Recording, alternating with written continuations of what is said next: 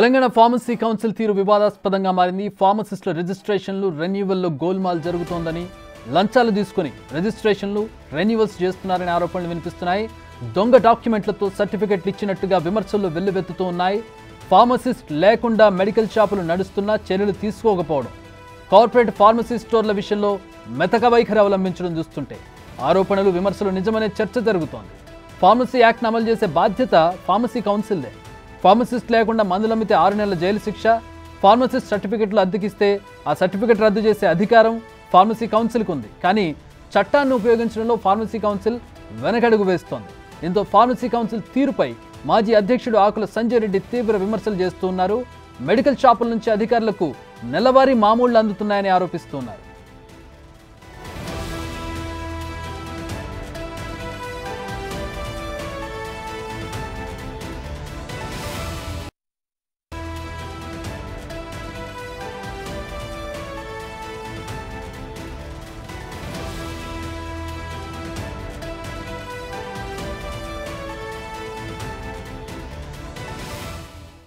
Pharmacy council ప్రక్షాళన చేయాలంటూ demand చేస్తున్న తెలంగాణ ఫార్మసీ కౌన్సిల్ మాజీ అధ్యక్షుడు ఆకుల సంజయ్తో మా bureau chief Pavan face to face. Say no to drugs campaign నిర్వహిస్తుంది బిగ్ దానిలో భాగంగానే చిన్న పిల్లలకు సైతం మత్తు మందులు యథేచ్ఛగా దొరుకుతున్న ఫార్మా స్టోర్స్ పైన సంచలన కథనాన్ని ప్రసారం చేసింది ఫార్మా స్టోర్స్ చేస్తున్న అక్రమాలను కళ్ళకు కట్టినట్లుగా ప్రజలకు చూపించింది. అసలు ఫార్మా స్టోర్స్లో అక్రమాలకు అడ్డుకట్ట వేయాల్సిన ఫార్మసీ కౌన్సిల్ ఏం చేస్తుంది? డ్రగ్స్ కంట్రోల్ అధికారులు అసలు ఎందుకు ఉదాసీనంగా ఉంటున్నారు? తదితర వివరాలు అందించేందుకు మనతో ఫార్మసీ కౌన్సిల్ మాజీ అధ్యక్షుడు ప్రస్తుత సభ్యుడు ఆకుల సంజయ్ రెడ్డి ఉన్నారు. ఆయన అడిగి మరిన్ని వివరాలు తెలుసుకునే ప్రయత్నం చేద్దాం. నమస్తే సంజయ్ రెడ్డి గారు. నమస్కారం ప్రతి ఫార్మా స్టోర్లో ఫార్మసిస్ట్ కంపల్సరీ ఉండాలనే నిబంధన ఉంది. కానీ ఎక్కడ కూడా ఉంటలేదు అవునండి. ఎందుకని అసలు? యాక్చువల్గా ఏంటంటే మనకు ఫార్మసీ ఫార్మసీ అనేది ఏదైతే మనకు మెడికల్ షాప్ అని అంటారో దీన్ని ఇక్కడ ఏంటంటే మనకు ఏదైతే డాక్టర్ మెడిసిన్స్ రాస్తాడో వైద్యుడు రాసిచ్చిన ప్రిస్క్రిప్షన్స్ ప్రిస్క్రిప్షన్కి సంబంధించిన మెడిసిన్స్ ఇక్కడ అవైలబిలిటీ ఉంటాయి. యాక్చువల్గా మందు అంటే మెడిసిన్ అనేది ప్రాణాధారమైనది. అంటే ప్రజారోగ్య వ్యవస్థకు సంబంధించింది. మన తెలంగాణ రాష్ట్రం చూసుకుంటే తెలంగాణ రాష్ట్ర వ్యాప్తంగా ఉన్న ప్రజలకు సంబంధించిన వ్యవస్థకు సంబంధించింది ఈ ఫార్మసీ తర్వాత ఫార్మసీ కౌన్సిల్ ఆఫ్ ఇండియా సంబంధించిన ఏదైతే తెలంగాణ స్టేట్ ఫార్మసీ కౌన్సిల్ ఉంటుందో తెలంగాణ స్టేట్ ఫార్మసీ కౌన్సిలే కావచ్చు తర్వాత డ్రగ్స్ కంట్రోల్ అడ్మినిస్ట్రేషనే కావచ్చు. ఈ డ్రగ్స్ కంట్రోల్ అడ్మినిస్ట్రేషను తర్వాత తెలంగాణ స్టేట్ ఫార్మసీ కౌన్సిల్ యొక్క బాధ్యత ఏంటంటే ప్రజలకు నాణ్యమైన మందులు అందించడం అనేది వారి యొక్క మినిమం రెస్పాన్సిబిలిటీ. అయితే ఇప్పుడు వైద్యం అనేది అంటే చికిత్స అనేది లేకున్నా కానీ అక్కడ మనకు పాజిబిలిటీ అవుతుంది కానీ మెడిసిన్ లేకపోతే మాత్రము దెర్ ఈజ్ నో ట్రీట్మెంట్ అంటే without medicine there is no treatment అనేది మనకు ఒక క్యాప్షన్ ఉంది. సో దీన్ని బేస్ చేసుకుగా అంటే మెడిసిన్ అనేది ఎంత ప్రాణాధారమైనది?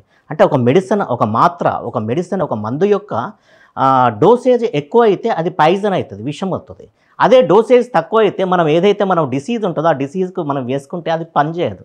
సో తక్కువ మాతుంది కాబట్టి. ఈ విధంగా దీంట్లో ఏంటంటే ఫార్మసిస్ట్ యొక్క రోలు ప్రముఖంగా ఉంటుంది. అయితే మనకు ఏదైతే మన ఈ ఫార్మసీ చట్టాలే కావచ్చు ఔషధ చట్టాలు ఏదైతే drugs and cosmetic act nineteen forty rules nineteen forty five section sixty five of two A కావచ్చు ఫార్మసీ యాక్ట్ నైన్టీన్ ఫార్టీ ఎయిటే కావచ్చు ఇవన్నీ ఏం చెప్తున్నాయంటే ఫార్మసిస్ట్ యొక్క ఇంపార్టెన్స్ చెప్తున్నాయి. ఫార్మసిస్ట్ యొక్క ఇంపార్టెన్స్ అంటే ఫార్మసిస్ట్ అంటే ఔషధ నిపుణుడు. చాలా చోట్ల ఫార్మసిస్టులు లేరు. ఎస్ ఎస్ కానీ మరి ఎందుకు వాళ్ళపైన కఠినమైన చర్యలు తీసుకోవడం లేదు? ఫార్మసీ కౌన్సిల్ వాళ్ళపైన ఎటువంటి యాక్షన్ తీసుకోవచ్చు? As per the nineteen forty eight pharmacy act section forty two ప్రకారంగా ఫార్మసీలో ఫార్మసిస్ట్ మాత్రమే మెడిసిన్స్ అనేది డిస్పెన్స్ చేయవలసి ఉంటుంది. ఇది మనకు nineteen forty eight pharmacy act ఈ చట్టం అనేది ఉంది. ఈ చట్టంలో ఏంటంటే ఫార్మసిస్ట్ మాత్రమే ఫార్మసీలో మెడిసిన్స్ డిస్పెన్స్ చేయాలి. ఫార్మసిస్ట్ కాకుండా నాన్ ఫార్మసిస్ట్ అంటే ఏదైతే క్వాలిఫైడ్ పర్సన్ కాకుండా కాక్స్ అంటే నకిలీలు కానీ బోగస్ వ్యక్తులు టెన్త్ ఇంటర్ ఫెయిల్ అయిన వాళ్ళు ఏదో బార్ షాపులలో పనిచేసిన వాళ్ళు వైన్ షాపులలో పనిచేసిన వాళ్ళు టీ కొట్టులలో పనిచేసిన వాళ్ళు అంటే ఇలా దానికి సంబంధం లేని ఫార్మసీ ఎడ్యుకేషన్కు సంబంధం లేని వ్యక్తులు డిస్పెన్స్ చేయడం వల్ల అక్కడ ప్రజారోగ్యం అనేది దెబ్బతింటుంది. సో దీన్ని బేస్ చేసుకొని ఈ pharmacy act nineteen forty eight అనే ఈ చట్టం ఏం చెప్తుందంటే దీనిలో సెక్షన్ ఫార్టీ టూ ఉంటుంది. ఇదేం చెప్తుందంటే ఫార్మసీలో అంటే మెడికల్ షాపులో ఫార్మసిస్ట్ కాకుండా ఎవరైతే నకిలీలు అంటే అన్క్వాలిఫైడ్స్ బోగస్ వ్యక్తులు మెడిసిన్స్ డిస్పెన్స్ చేస్తే వాళ్ళకు సిక్స్ మంత్స్ ఇంప్రిజన్మెంట్ అని చెప్తుంది. సిక్స్ మంత్స్ ఇంప్రిజన్మెంట్ ఆరు నెలల జైలు శిక్ష ఆరు నెలల జైలు శిక్షతో పాటు వీళ్ళకు ఫైన్ వేయడం జరుగుతుంది అనేది చెప్తుంది. అదే కాకుండా అంటే ఇప్పటిదాకా ఫార్మసీ కౌన్సిల్ ఫార్మాసిస్టులు లేని మెడికల్ షాపుల మీద రైడ్ చేయడం కానీ అటువంటి వ్యక్తుల్ని పట్టుకొని ఇటువంటి శిక్ష ఏపించిన దాఖలాలు ఉన్నాయా? ఇప్పటి వరకు ఏమైనా శిక్షలు పడ్డాయా అట్లా? అంటే గతంలో నేను ఫార్మసీ కౌన్సిల్గా ఫార్మసీ తెలంగాణ స్టేట్ ఫార్మసీ కౌన్సిల్కు ఒక ప్రెసిడెంట్గా ఉండడం జరిగింది. ఆ ప్రెసిడెంట్గా నాలుగు నెలలు మాత్రమే ఉండడం జరిగింది. మీరు క్వశ్చన్ చేయొచ్చు నాలుగు నెలలు ఎందుకున్నారు మరి? టర్మ్ ఎక్కువ ఉంటుంది కావచ్చు. అయితే ఈ ఏదైతే ఫార్మసీ వ్యవస్థకు సంబంధించిన ఫార్మసీ చట్టాన్ని నిక్కచ్చిగా తెలంగాణ రాష్ట్రంలో అమలు చేయాలి అంతేకాకుండా pharmacy practice regulations two thousand fifteen అనేది ఉంటుంది. దీని ప్రకారంగా కూడా ఫార్మసీలో ఫార్మసిస్ట్ మా ద్వారా మాత్రమే ప్రజలకు మెడిసిన్స్ రీచ్ కావాలనే ఉద్దేశంతో ఈ రెండు చట్టాలను నిచ్చిక నిక్కచ్చిగా అమలు చేయాలనే ఉద్దేశంతో నేను ఫార్మసీలో ఫార్మసిస్ట్ ఉన్నడా లేడా అనేది తర్వాత ఫార్మసీలో ఫార్మసిస్ట్ డిస్పెన్స్ చేస్తుండా లేదా తర్వాత ఫార్మసిస్ట్ యొక్క రిజిస్ట్రేషన్ సర్టిఫికేట్ ఆ ఫార్మసీ యొక్క ప్రిమిసెస్లో డిస్ప్లే అవుతుందా లేదా అనేది ఈ ఫార్మసీ కౌన్సిల్ యొక్క విధి విధానాలు డ్యూటీ. అయితే దీనికి సంబంధించి నేను తనిఖీలు కూడా చేయడం జరిగింది తనిఖీ ఫార్మసీ ఇన్స్పెక్టర్స్ ద్వారా తనిఖీలు కూడా చేయించడం జరిగింది.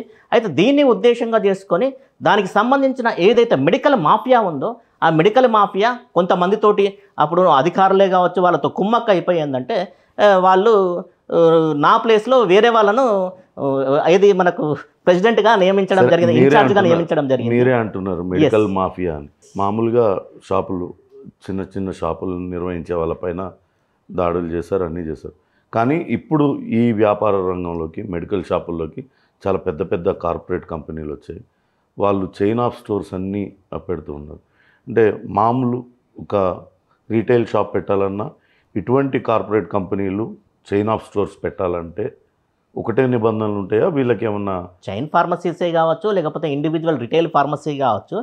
ఎవరు ఫార్మసీ ఎస్టాబ్లిష్ చేసుకోవాలన్నా డ్రగ్స్ కంట్రోల్ అడ్మినిస్ట్రేషన్కు సంబంధించిన అంటే డ్రగ్స్ కంట్రోల్ ఔషధ నియంత్రణ నిఘా విభాగం ఏదైతే ఉందో ఎన్ఫోర్స్మెంట్ డిపార్ట్మెంట్ ఏదైతే ఉందో దానికి సంబంధించిన ఒక చట్టం ఉంది.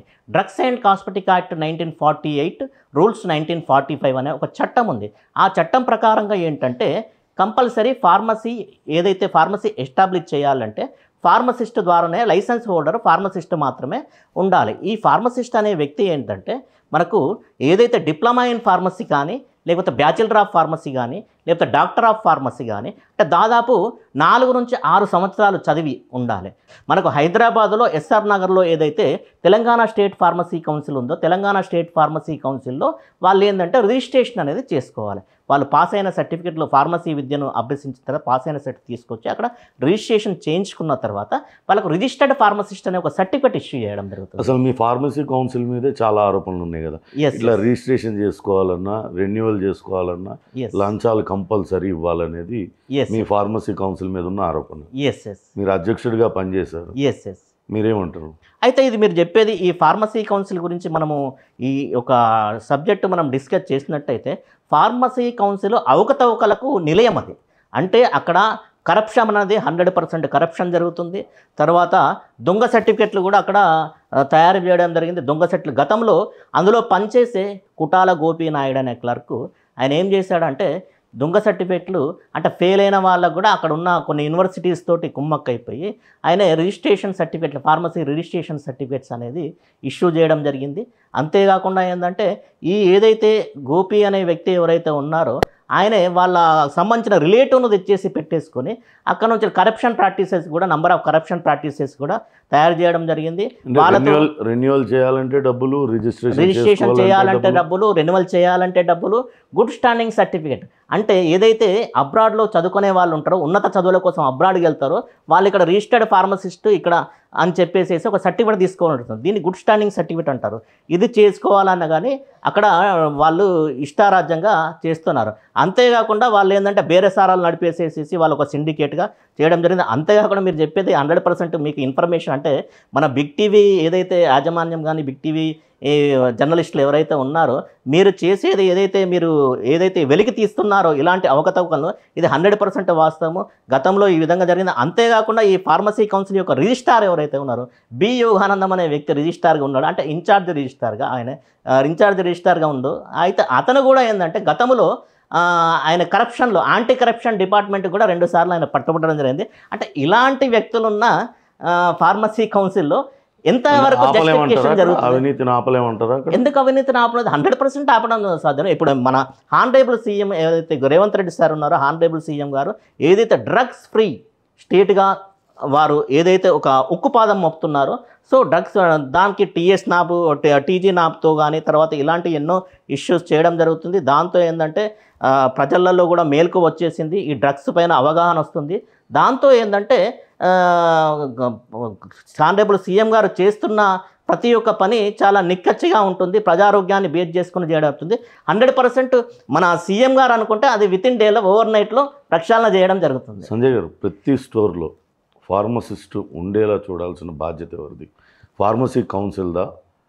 మెడికల్ డ్రగ్ కంట్రోల్ అడ్మినిస్ట్రేషన్ అధికారులు ఎస్ సార్ ఇది గుడ్ క్వశ్చన్ యాక్చువల్గా ఏంటంటే Telangana state drugs control administration అనేది ఇది ఔషధ నియంత్రణ విభాగము. ఇది మనకు ఎస్ఆర్ నగర్లో ఉంటుంది. ఎస్ఆర్ నగర్లోని హైదరాబాద్లోని వెంగ ఎస్ఆర్ నగర్లో వెంగళరావు నగర్లో ఇది లొకేట్ అయ్యి ఉంది. అయితే ఈ డ్రగ్స్ కంట్రోల్ అడ్మినిస్ట్రేషన్ అనేది డ్రగ్స్ కన్ drugs and cosmetic act nineteen forty rules nineteen forty five చట్టం ప్రకారంగా ఇది పనిచేస్తుంది. ఇది ఎన్ఫోర్స్మెంట్ డిపార్ట్మెంట్ అంటారు దీని ప్రకారంగా ఏంటంటే ఫార్మసీలో ఫార్మసిస్ట్ ఉన్నాడా లేడా అనేది తనిఖీ చేయవలసిన బాధ్యత వీళ్ళదే. తర్వాత నెక్స్ట్ వచ్చేసేసేసి ఫార్మసీలో ఏదైతే స్పూరియస్ డ్రగ్స్ కానీ అడల్ట్రేషన్ డ్రగ్స్ కానీ అంటే నాణ్యత లేని మనసు మెడిసిన్స్ కానీ ఇస్తున్నారా లేదా అనే తనిఖీ చేసే బాధ్యత కూడా వీ వీరిదే. ఇక్కడ ఫార్మసీలో ఫార్మసిస్ట్ ఉంటుండా లేదా స్పూరేజ్ డ్రగ్స్ ఏమైనా ఉంటున్నాయా? మత్తు మందులు వితౌట్ ప్రిస్క్రిప్షన్ ఏమైనా మెడిసిన్స్ ఇస్తున్నారా? Schedule H H one X drugs ఇస్తున్నారా? మత్తు మందులను ఏమైనా ఇస్తున్నారా అనే తనిఖీ చేసే బాధ్యత. మత్తు మందులు అంటే నార్కోటిక్ డ్రగ్స్ ఉంటాయి ఆ సైకోటోపిక్ సబ్స్టాన్సెస్ ఉంటాయి. అంటే ఇప్పుడు మనకు ఆల్ప్రాక్స్ అనే టాబ్లెట్ ఉంటుంది. ఇలాంటి టాబ్లెట్స్ కానీ ఇస్తున్నారా? Cough syrups rest yes sir రెస్టెల్ exactly మీరు చెప్పింది. రెస్టెల్ కానీ ఇలాంటి ఇస్తున్నారా లేదా అని తనిఖీ చేసే బాధ్యత దానికి సర్చ్ సర్టన్ రిజిస్టర్ మెయింటైన్ చేస్తున్నారా లేదా? ఎన్ని మాత్రలు వాళ్ళు హోల్సేల్ నుంచి తెచ్చుకున్నారు? ఎన్ని మాత్రలు పేషెంట్స్కు సేల్ చేశారు ఆ సేల్స్ రికార్డ్స్ కరెక్ట్ ఉన్నాయా లేదా? ఇదంతా అబ్జర్వ్ చేసే బాధ్యత ఏదంటే ఈ డ్రగ్స్ కంట్రోల్ అడ్మినిస్ట్రేషన్ యొక్క బాధ్యత. ఇది ఒక part part A. Part B pharmacy council Telangana state pharmacy council. Telangana state pharmacy council యొక్క బాధ్యత ఏంటంటే ఫార్మసీలో అంటే ద- రాష్ట్ర వ్యాప్తంగా ఉన్న నలభై ఐదు వేల ఫార్మసీలో ఫార్మసిస్టులు రిజిస్టర్ ఫార్మసిస్టులు రిజిస్టర్డ్ ఫార్మసిస్టులు డిస్పెన్స్ చేస్తున్నారా చేయట్లేదా? లేకపోతే డిస్ నాన్ కాక్స్ డిస్పెన్స్ బోగస్ వాళ్ళు డిస్పెన్స్ చేస్తున్నారా అనేది చూసే బాధ్యత వాళ్ళది. అంతేకాకుండా ఏదైతే ఈ ఫార్మసీ కౌన్సిల్ ఎక్కడ చూడట్లేదు రిజిస్టర్డ్ ఎస్ సార్ ఇది హండ్రెడ్ పర్సెంట్ వాస్తవం. రిజిస్టర్డ్ ఫార్మసిస్ట్ సర్టిఫికెట్ ఇప్పుడు ఆ ఫార్మసీలో డిస్పెన్స్ అవుతుందా లేదా అనేది ఇవి రెండు మాత్రమే. వీది. బిగ్ టీవీ రీసెంట్గా చేసిన స్టింగ్ ఆపరేషన్లో దాదాపుగా ఒక నలభై యాభై షాపులు తిరుగుంటాయి. మెడ్ ప్లేసే కావచ్చు అపోలోలో కావచ్చు. చాలా చోట్ల సర్టిఫికేట్ డిస్ప్లేలో ఉంది కానీ ఆ డిస్ప్లే చేసిన సర్టిఫికేట్ ఎవరైతే ఉన్నారో ఫార్మసిస్ట్ సర్టిఫికేట్ ఏదైతే ఉందో ఆ ఫార్మసిస్ట్ ఆ స్టోర్లో ఉండడం లేదు. ఎస్ వేరెవరో మందులు అమ్ముతున్నారు. వాళ్ళపైన ఎటువంటి చర్యలు తీసుకుంటారు. Hundred percent. ఇక్కడ వాళ్ళపైన చర్యలు తీసుకోవాల్సింది డ్రగ్స్ కంట్రోల్ అడ్మినిస్ట్రేషన్ సంబంధించిన డ్రగ్ ఇన్స్పెక్టర్స్ చర్యలు తీసుకోవాలి ఫార్మసీ కౌన్సిల్కి సంబంధ సంబంధించిన రిజిస్టారు వాటిపైన ఇద్దరిపై ఇద్దరు అంటే రెండు విభాగాలు దీనిపైన చర్యలు తీసుకోవాల్సి ఉంటుంది. ఇందాక మీరు మాట అన్నారు ఏది రెన్యువల్కైనా రిజిస్ట్రేషన్కైనా దేనికైనా కానీ డబ్బులు ఇవ్వాల్సిందే లంచాలు బాగా మరిగారు అని. సేమ్ అలానే ప్రతి నెల మెడికల్ షాప్ నుంచి డ్రగ్ కంట్రోల్ అధికారులకు కూడా డబ్బులు అందుతాయి అనే ఆరోపణలు ఉన్నాయి అవును. వాస్తవమేనా అది? అంటే ఎందుకు ఇస్తారు ఆ డబ్బులు? ఇప్పుడు యాక్చువల్గా ఏంటంటే డ్రగ్స్ కంట్రోల్ అడ్మినిస్ట్రేషన్కి సంబంధించింది ఒకటి హాతీ కమిటీ అనేది ఉంటుంది. అంటే రాష్ట్ర వ్యాప్తంగా ఎన్నైతే మెడికల్ షాప్స్ ఉన్నాయో రాష్ట్ర వ్యాప్తంగా ఈ ఎన్నైతే ఫార్మస్యూటికల్ ఇండస్ట్రీస్ ఉన్నాయో ఆ ఇండస్ట్రీస్ను తనిఖీ చేయడానికి ఇంతమంది రిక్వైర్మెంట్ డ్రగ్ ఇన్స్పెక్టర్స్ రిక్వైర్మెంట్ అనేది మనకు హాతీ కమిటీ అనేది చెప్తుంది. దా- దాదాపు మనకు రాష్ట్ర వ్యాప్తంగా నలభై ఐదు వేల ఫార్మసీలు ఉన్నాయి. ప్రతి వంద మెడికల్ షాప్స్ ఇన్స్పెక్షన్ చేయడానికి ఒక డ్రగ్ ఇన్స్పెక్టర్ ఉండాలి. అలాంటిది మనకు తెలంగాణ రాష్ట్ర వ్యాప్తంగా నలభై ఐదు వేల ఫార్మసీలు అంటే ఇక్కడ రిక్వైర్మెంట్ నాలుగు వందల యాభై డ్రగ్ ఇన్స్పెక్టర్లు ఉండాలి. అదేవిధంగా ఫార్మస్యూటికల్ ఇండస్ట్రీస్ దాదాపు ఎనిమిది వందల ఫార్మస్యూటికల్ ఇండస్ట్రీస్ అంటే ఇరవై ఐదు ఫార్మస్యూటికల్ ఇండస్ట్రీస్ ఇన్స్పెక్షన్ చేయడానికి ఒక డ్రగ్ ఇన్స్పెక్టర్ ఉండాలంటే ఎనిమిది వందలు అంటే ఆల్మోస్ట్ ఒక థర్టీ టు థర్టీ ఉంటుంది. అంటే మనకు ఓవరాల్గా మనకు కావలసిన డ్రగ్ ఇన్స్పెక్టర్ల సంఖ్య తెలంగాణ రాష్ట్రానికి దాదాపు ఒక ఫైవ్ ఎయిటీ అలా మనకు సంఖ్య కావాలి. కానీ ఉన్న ఇక్కడ ఎన్ఫోర్స్మెంట్ డిపార్ట్మెంట్లో ఉన్న డ్రగ్ ఇన్స్పెక్టర్ల సంఖ్య ఎంత ఉందంటే డెబ్బై ఒకటి మాత్రమే ఉన్నది. ఈజ్ ఇట్ పాసిబుల్ మనకు పాసిబిలిటీ అవుతుందా? అంటే ఇక్కడ వాళ్ళు ఎంతవరకు న్యాయం చేస్తున్నారు? సిబ్బంది కొరత వల్ల వాళ్ళు తనిఖీలు చేయలేకపోతున్నారంటారా? లేకపోతే ఆరోపణలు చేస్తున్నట్లుగా లంచాలు తీసుకొని తనిఖీలు చేయడం లేదంట. ఇక్కడ విషయం ఏంటంటే తక్కువ సిబ్బంది ఉన్నారు కాబట్టి వాళ్ళకు ఎక్కువ ఫార్మసీలు ఉంటున్నాయి. ఫార్ ఇన్స్పెక్షన్ చేసిన ఫార్మసీలు ఎక్కువనే ఉంటున్నాయి.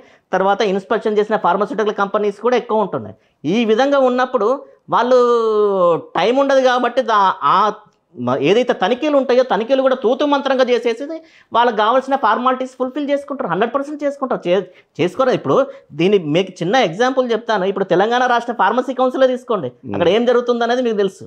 సేమ్ అదే విధంగా ఇక్కడ కూడా జరగచ్చు. డ్రగ్ కంట్రోల్ అధికారుల మీద రకరకాల ఆరోపణలు వస్తున్నాయి. వాళ్ళు ఆలోచిపడుతున్నారనో ఇంకోటి ఇంకోటి.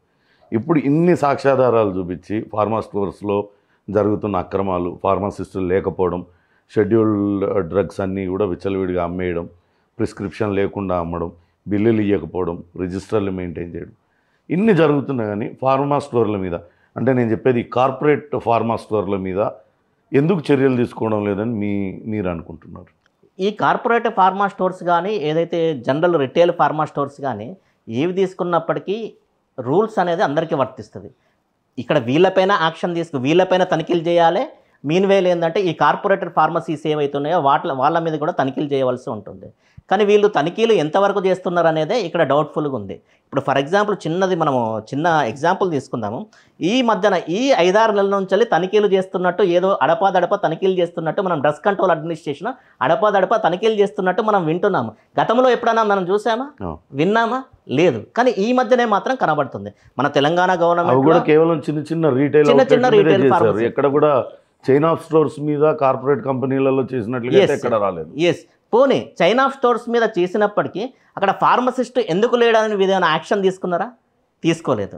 అంటే డ్రగ్స్ కంట్రోల్ అడ్మినిస్ట్రేషన్ తీసుకోలేదు తెలంగాణ స్టేట్ ఫార్మసీ కౌన్సిల్ తీసుకోలేదు. సో దీన్ని బేస్ చేసుకొని నేను చెప్పదలుచుకునేది ఏంటంటే ఈ చైన్ ఫార్మసీసే కావచ్చు లేకపోతే రిటైల్ ఫార్మసీసే కావచ్చు ప్రతి ఒక్క ఫార్మసీ పైన కంపల్సరీ స్ట్రింజెంట్ యాక్షన్ తీసుకోవాల్సిన బాధ్యత డ్రగ్స్ కంట్రోల్ అడ్మినిస్ట్రేషన్కి సంబంధించిన నియంత్రణ విభాగం ఉంది హండ్రెడ్ పర్సెంట్ ఉంది. ఈ గతంలో జరిగింది ఇప్పుడు ఏదైతే మన బిగ్ టీవీ వెలుగులోకి తీసుకొని తీసుకొచ్చింది కాబట్టి అంటే ఎవిడెన్స్ బేస్డ్ ఇప్పుడు ఇంతకుముందు ఏంటంటే ప్రజలకు తెలియదు ఎవరికి కూడా తెలియదు. ఈవెన్ మంచి ఇంటలెక్చువల్స్ కూడా దీని గురించి తెలియదు.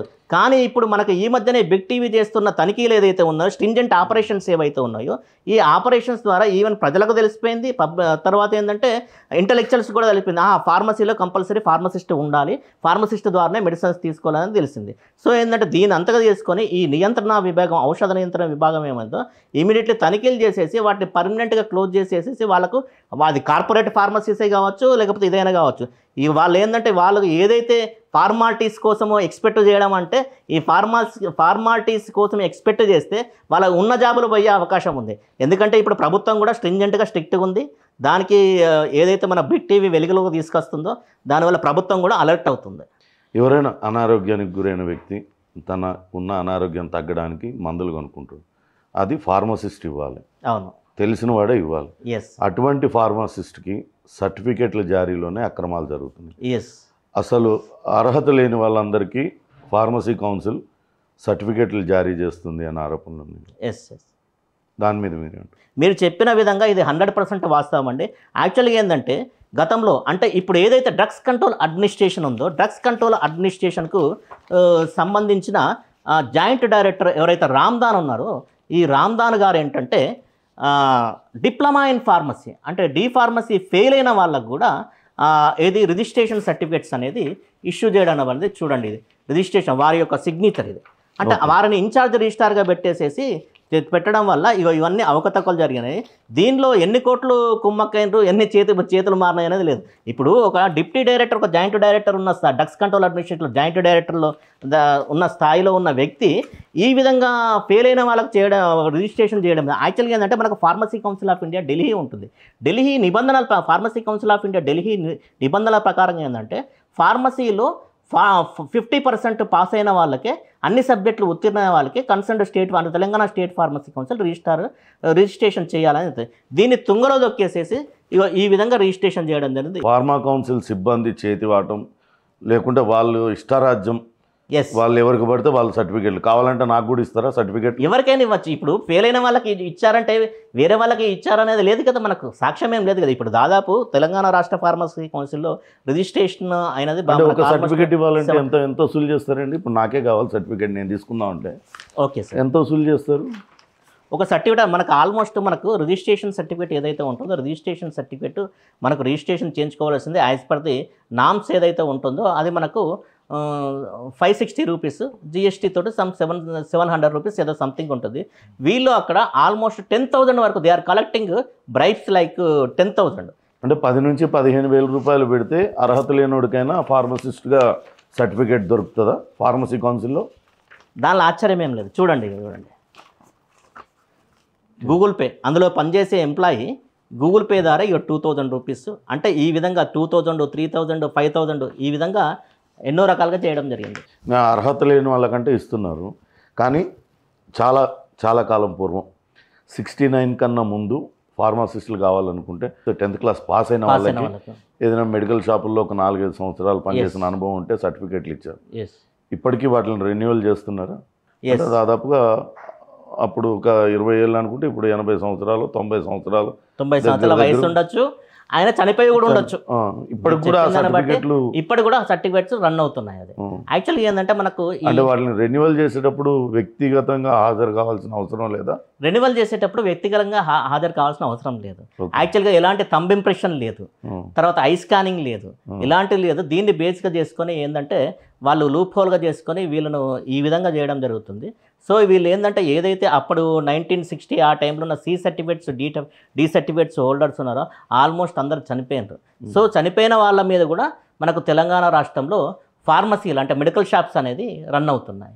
ఇప్పుడు రాంగ్ మెడికేషన్ వల్ల లేకుంటే మెడికల్ మెడిసిన్ ఓవర్ డోస్ వల్ల చనిపోయే వాళ్ళ సంఖ్య చాలా పెరుగుతుంది ఎస్ దానికంతా బాధ్యులు ఎవరు? అటువంటి జరగకుండా చూడాల్సిన బాధ్యత ఎవరిది? అమ్మే వాళ్ళపైన ఎటువంటి చర్యలు తీసుకోవాలి ఇటువంటి ఇదంతా ఏంటంటే డ్రగ్స్ కంట్రోల్ అడ్మినిస్ట్రేషన్. అంటే ఈ సేల్స్కి సంబంధించిందంతా డ్రగ్స్ కంట్రోల్ ఎడ్యుకేషన్కి సంబంధించింది ప్రాక్టీస్ ఫార్మసీ ప్రాక్టీస్కి సంబంధించేసేసి స్టేట్ ఫార్మసీ కౌన్సిల్ చూసుకుంటుంది.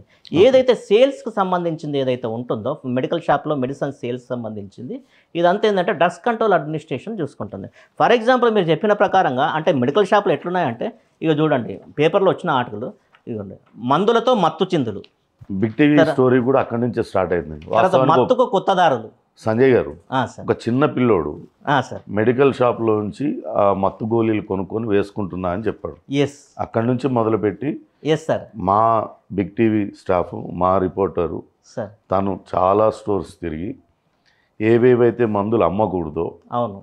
బయటికి ప్రిస్క్రిప్షన్ లేకుండా అమ్మకూడదో ఆ మందులు సంచులు సంచులు కొనుక్కొని వచ్చింది. అంటే ఇష్టం వచ్చినట్టుగా వాళ్ళు అమ్మేశారు. వాటిని అన్నిటినీ వీడియోలు తీసి ఆధారాలతో సహా స్టోరీ వేశారు. కానీ ఇంతవరకు మీ సైడ్ నుంచి మీ ఫార్మసీ కౌన్సిల్ ప్రస్తుతానికి సభ్యుడిగానే ఉన్నారు నేను ప్రస్తుతానికి సభ్యుడిగా లేను. లేరా? మీరు? యాక్చువల్గా కంప్లీట్ అయిపోయింది. మా టర్మ్ కూడా కంప్లీట్ అయిపోయింది. ఇది చేయవలసింది ఫార్మసీ కౌన్సిల్ కానీ ఫార్మసీ కౌన్సిల్ కానీ డ్రగ్స్ కంట్రోల్ డ్రగ్స్ కంట్రోల్ అధికారులు కానీ ఇమీడియట్లీ రంగ యాక్చువల్గా ఏంటంటే డ్రగ్స్ కంట్రోల్ అడ్మినిస్ట్రేషన్ అనేది గవర్నమెంట్కి సంబంధించింది. అది రాష్ట్ర ప్రభుత్వానికి సంబంధించిన విభాగము. డ్రగ్స్ కంట్రోల్ అడ్మినిస్ట్రేషన్ యొక్క అధి అధికారులు దీనికి ఇమీడియట్లీ రెస్పాండ్ అయ్యి కంపల్సరీ వాళ్ళపైన యాక్షన్ తీసుకోవాలి. ఏదో తూతూ మంత్రంగా రెండు రోజులు మూడు రోజులు సస్పెండ్ చేయడం కాదు. ఫార్మసీలో ఫార్మసిస్ట్ లేకున్నా యాక్షన్ తీసుకోవాలి. లేకపోతే నాన్ ఫార్మసిస్టులు ఏదైతే చదువుకొని వాళ్ళు డిస్పెండ్ చేసినా కానీ యాక్షన్ తీసుకోవాల్సి ఉంటుంది. తర్వాత ఇంకా మీరు ఇంకో విషయం మెడికేషన్ మెడిక medicine overdose yes yes ఇవి ఎందుకు జరుగుతాయి? తెలియక వేసుకుంటున్నాం లేకుంటే తెలవని వాళ్ళు ఇస్తే మందుల వల్ల. జరుగుతాయి. మరి వాళ్ళని వాళ్ళ హంతకులేగా వాళ్ళు? హండ్రెడ్ పర్సెంట్ హంతకులు. యాక్చువల్గా ఏంటంటే ఇది విషయం ఏంటంటే మర్డర్ చేసిన వాళ్ళకన్నా ఎక్కువ. ఇది కూడా one side one of the biggest crime ఇది. యాక్చువల్గా మీరు ఇంకో విషయం నేను చెప్పదలుచుకుంది ఏంటంటే ఇప్పుడు డ్రగ్స్ కంట్రోల్ వ్యవస్థ అనేది గవర్నమెంట్ సంబంధించి ప్యూర్లీ గవర్నమెంట్. కానీ స్టా ఫార్మసీ కౌన్సిల్ అనేది statutory body. So first pharmacy కౌన్సిల్లో ఉన్న ఎంప్లాయీస్ ఎవరు పర్మనెంట్ కాదు. సో ఇమీడియట్లీ ఏంటంటే ప్రభుత్వము ఆ ఫార్మసీ కౌన్సిల్లో ఎవరైతే ఎంప్లాయీ ఉన్నారో వీళ్ళని ఏంటంటే ఇమీడియట్లీ అక్కడ తీసేసేయాలి. తీసేసేసి కొత్త వాళ్ళని నియమిస్తే దానికి జస్ట్ అంటే మంచి జెన్యున్ పర్సన్ నియమిస్తే జస్టిఫికేషన్ జరుగుతుంది. తర్వాత ఇంకో విషయం ఏంటంటే నంబర్ ఆఫ్ సైడ్ ఎఫెక్ట్స్ కూడా వస్తున్నాయి. చూడ చూడొచ్చు. ఇప్పుడు చిన్న పిల్లలకు మెడిసిన్స్ ఇవ్వడం వల్ల వాళ్ళకు ఏది ఆ, చిన్న పిల్లలు చనిపోయినారు. ఇలాంటి ఎన్నో ఆర్టికల్ వస్తుంది. ఇక మందులు వికటించి బాడు మృతి అని చెప్పేసి తర్వాత అదే కాకుండా ఇగో ప్రాణం మీదకి తెచ్చిన స్వీపర్ వైద్యం. అంటే ఒక స్వీపరు అంటే మెడికల్ షాప్లో ఆ స్వీ- స్వీపర్ కూడా మెడిసిన్స్ ఇచ్చింది. అంటే ఇలాంటి ఎన్నో ఇష్యూస్ ఉన్నాయి. తర్వాత ఏంటంటే ఇప్పుడు మనము కొద్దిగా ఎడ్యుకేటెడ్ కాబట్టి మెడిసిన్ పైన ఏ మెడిసిన్ ఇచ్చారు డాక్టర్ రాసిన ప్రిస్క్రిప్షన్ మీద అని మనం ఆ ఈ మెడిసిన్ కరెక్ట్ అని చూసుకుంటున్నాం. తర్వాత ఎక్స్పైరీ డేట్ చూస్తున్నాం. మరి రూరల్ ఏరియాలో వాళ్ళ విషయం ఏంటండి? చదువుకొని వాళ్ళ వాళ్ళ విషయం ఏంటి అంటే ఇష్టారాజ్యంగా మెడిసిన్ ఇస్తే ఒక మెడిసిన్ బదులు ఇంకో మెడిసిన్ తీసుకపోతే number of side effects kidney damage అంటారు. దాన్ని ఏంటంటే రేనోటాక్సి రేనల్ టాక్సిటీ అంటారు. తర్వాత హెపటోటాక్సిటీ లివర్ డ్యామేజ్ అవుతుంది. హార్ట్ స్ట్రోక్స్ కూడా వస్తున్నాయి. అంటే ఈ విధంగా ఎన్నో పరిణామాలు జరుగుతున్నాయి. సో దీన్ని బేస్ చేసుకొని కంపల్సరీ అంటే ఈ నిక్కచ్చిగా షెడ్యూల్ డ్రగ్స్ సైకోట్రాపిక్ డ్రగ్స్ ఇవన్నీ ఇష్టారాజ్యంగా అమ్మేస్తున్నారు. ఎస్ మరి వాళ్ళపైన ఎట్లాంటి చర్యలు తీసుకోవాలి? అసలు అలా అమ్మేయొచ్చా ఈ స్టోర్స్ అన్ని? Medical stores? యాక్చువల్గా ఏంటంటే ఇక్కడ మనము రాష్ట్ర వ్యాప్తంగా ఇప్పుడు మీరు మన బిగ్ టీవీ ఏదైతే తనిఖీ తనిఖీలు విజిట్స్ చేశారో రాష్ట్ర వ్యాప్తంగా ఉన్న మెడికల్ షాపులలో మీరు తనిఖీలు చేసినప్పుడు అక్కడ బయటపడ్డ విషయం ఏంటి? ఫార్మసీలో ఫార్మసిస్టులు డిస్పెన్స్ చేయట్లేదు. ఫార్మసిస్టులు లేరు. లేరు. సర్టిఫికేట్లు ఎవరైతే ఫార్మసిస్టుల సర్టిఫికేట్ ఉందో అసలు ఆ మనుషులు ఫిజికల్గా అక్కడ లేరు. లేరు. ఆ సర్టిఫికేట్ ఉన్న సర్టిఫికేట్లో ఉన్న ఫార్మసిస్ట్ ఎవరో ఆ ఎంప్లాయీస్కి తెలియదు తెలియదు మనం వెళ్ళి మందు అడుగుతున్నాం. రెస్టిల్ అంటే రెస్టిల్ ఇచ్చారు ఇంకా రకరకాల సైకోట్రోపిక్ డ్రగ్స్ అన్ని అడిగాము. వాటిలన్నిటినీ ఇచ్చేశారు. మరి ఆ స్టోర్స్ మీద ఎలాంటి చర్యలు తీసుకునే అవకాశం మీరు ఒక్కసారి ఇది drugs and cosmetic yes act ఇది. ఎస్ దీనిలో ఉన్న ఏదైనా ఒక్కటి ఈ డ్రగ్ కంట్రోల్ అడ్మినిస్ట్రేషన్ అధికారులు కానీ ఫార్మసీ కౌన్సిల్ కానీ ఏదైనా కానీ ఫాలో అవుతుందా? ఒకవేళ నిక్కచ్చిగా అందులో ఉన్నాయి యథాతథంగా ఫాలో చేసి కనుక అమలు చేయాల్సి వస్తే ఈ ఫార్మా స్టోర్స్ నిర్వహిస్తున్న వాళ్ళకి కానీ ఎస్ అందులో అర్హత లేకుండా మందులు డిస్పెన్స్ చేస్తున్న వాళ్ళకి ఎటువంటి శిక్షలు పడే అవకాశం ఉంటుందని చెప్పండి. ఇది drugs and cosmetic act nineteen forty rules nineteen forty five. ఇది ఏం చెప్తుందంటే రాష్ట్రంలో ఏదైతే మెడికల్ షాప్స్ ఉంటాయో మెడికల్ షాప్స్లో ఉన్న మెడికల్ షాప్లో ఫార్మసిస్టులు మాత్రమే ప్రజలకు మందులను చేయాలి అనేది ఇక్కడ చెప్తుంది. ఇది drugs and కాస్మెటిక్లో section sixty five of two కానీ మన తెలంగాణ రాష్ట్రంలో ఫార్మసిస్టులు కాకుండా అన్క్వాలిఫైడ్స్ చదువుకోని వాళ్ళు కూడా మందులు డిస్పెన్స్ చేస్తున్నారు. నెక్స్ట్ వచ్చేద్దాం. ఇది ఫార్మసీ కౌన్సిల్ ఆఫ్ ఇండియాకు సంబంధించిన pharmacy practice regulations two thousand fifteen amendment of twenty twenty one. ఇందులో ఏం చెప్తున్నారంటే ఫార్మసీలో ఫార్మసిస్ట్ మాత్రమే మందులు డిస్పెన్స్ చేయాలి. తర్వాత ఫార్మసీలో ఫన్- ఫార్మసిస్ట్ కాకుండా వేరే వాళ్ళు మందులు డిస్పెన్స్ చేయడానికి లేదు తర్వాత అదే కాకుండా ఏదైతే ఫార్మసీ అంటే మెడికల్ షాప్ ప్రిన్సెస్ ఉంటాయో ఫార్మసిస్ట్ యొక్క సర్టిఫికెట్ డిస్ప్లే చేయాలి. తర్వాత అదే విధంగా ఆ సర్టిఫికెట్లో ఎవరైతే ఫార్మసిస్ట్ ఉన్నారో వాళ్ళు మాత్రమే మెడిసిన్స్ ప్రజలకు అందివ్వాలనేది దీనిలో మెన్షన్ చేసింది. ఫర్ ఎగ్జాంపుల్ చెప్తాను చాలామంది. ఇప్పుడు మనకు యాంటీబయాటిక్స్ ఉన్నాయి. అమాక్సిలిన్ కానీ క్లావ్లినిక్ యాక్సిడ్ అని సెఫిక్జామ్ లాంటి యాంటీబయాటిక్స్ మనము ఫీవర్ వచ్చినప్పుడు కానీ వేరే ఇన్ఫెక్షన్స్ అయినప్పుడు కానీ లంగ్ ఇన్ఫెక్షన్స్ అయినప్పుడు కానీ తీసుకుంటాం. ఆ మెడిసిన్స్ తీసుకున్న తర్వాత కొంతమంది ఏంటంటే సంత్రా కానీ మోసంబి కానీ జ్యూస్ తాగుతారు. అది తాగద్దు. ఇది ఎవరు చెప్పగలుగుతారు? ఫార్మసిస్ట్ మాత్రమే చెప్పగలుగుతారు. చెప్పగలుగుతాడు అంటే ఐదు నుంచి దాదాపు నాలుగు నుంచి ఆరు సంవత్సరాలు చదువుకున్న వ్యక్తి వీళ్ళు మాత్రమే చెప్ప ఎందుకంటే మోసంబి సంత్రా జ్యూస్ తీసుకున్న తర్వాత దానిలో సిట్రిక్ యాసిడ్ ఉంటుంది. విటమిన్ సిట్రిక్ యాసిడ్ ఏం చేస్తుంది అంటే ఈ టాబ్లెట్ను స్పాయిల్ చేస్తుంది. అంటే అది ఎంత అది ఏ- విధంగా పనిచేయాలనో బాడీ మీద ఇన్ఫెక్షన్ తగ్గించాలో తగ్గించదు. అది బ్రేక్ అయిపోతుంది. అది ఎవరికి తెలియదు. ఫర్ ఎగ్జాంపుల్ అజిత్రోమైసిన్ తర్వాత రాగ్జిత్రోమైసిన్. అంటే రాగ్జిడ్ ఇప్పుడు మనం కరోనా పీరియడ్లో చాలామంది రాగ్జిడ్ తర్వాత అజిత్రోమైసిన్ అజిత్రాలు ఇలాంటి టాబ్లెట్ తీసుకున్నారు. ఈ టాబ్లెట్ తీసుకునేది ఎప్పుడు? ఇప్పుడు మనం ఫుడ్ తీసుకున్న తర్వాత వెంటనే వేసుకుంటాం. వేసుకోవద్దు. దాన్ని ఏంటంటే food food and drug interaction అంటారు. అంటే ఫుడ్ మనం తీసుకున్న ఫుడ్ అబ్జార్బ్ కానేయదు ఆ డ్రగ్గును ఇది ఎవరికి తెలుసు? ఫార్మసిస్ట్ మాత్రమే తెలుసు. వేరే వాళ్ళకి తెలిసే అవకాశం లేదు. అది ఎక్స్ప్లెయిన్ చేయరు. పేషెంట్ వేసుకున్నప్పటికీ అది సరిగ్గా పనిచేయదు. ఎందుకంటే అది ఈ ఫుడ్ అండ్ డ్రగ్ ఇంట్రెక్షన్ వల్ల ఈ మనం ఏదైతే ఈ మెడిసిన్ డాగ్జిత్రోమైసిన్ ఇలాంటి టాబ్లెట్స్ ఉన్నాయో అది మనం ఫుడ్ తిన్న తర్వాత ఒక హాఫ్ అన్ అవర్ తర్వాత లేదా వన్ అవర్ తర్వాత వేసుకోవాలి టాబ్లెట్. ఇమీడియట్గా వేసుకోవద్దు. సంజయ్ గారు ఇందాక ఒక మాట అన్నారు. రాష్ట్ర వ్యాప్తంగా నలభై ఐదు వేల మెడికల్ షాపులు ఉన్నాయని చెప్పారు. ఓకే. ఫార్మసిస్టులు ఎంతమంది ఉంటారండి? ఫార్మసిస్టులు ఆల్మోస్ట్ లక్ష మంది ఫార్మసిస్టులు ఉన్నారు మరి అంటే ప్రతి స్టోర్లో ఫార్మసిస్టులను పెట్టే అంత Hundred- ఇదైతే మన దగ్గర ఉంది. హండ్రెడ్ పర్సెంట్ కానీ ఎందుకు పెట్టడం లేదు ఈ పెద్ద పెద్ద షాపులు? అంటే ఫార్మసిస్ట్కి చెల్లించాల్సిన జీతం ఎక్కువనా? లక్షలలో చెల్లిస్తున్నారండి ఫార్మసిస్టుల జీతం? కాదు కదా. ఇరవై ఐదు వేల నుంచి ముప్పై వేలు. ఇప్పుడు మన హైదరాబాద్లో మనము మన లైఫ్ స్టైల్ ఉండ మనము జీవించాలంటే అట్లీస్ట్ ఒక ఇరవై ఐదు వేల నుంచి ముప్పై వేలు అయితే ఉండాలి కదా.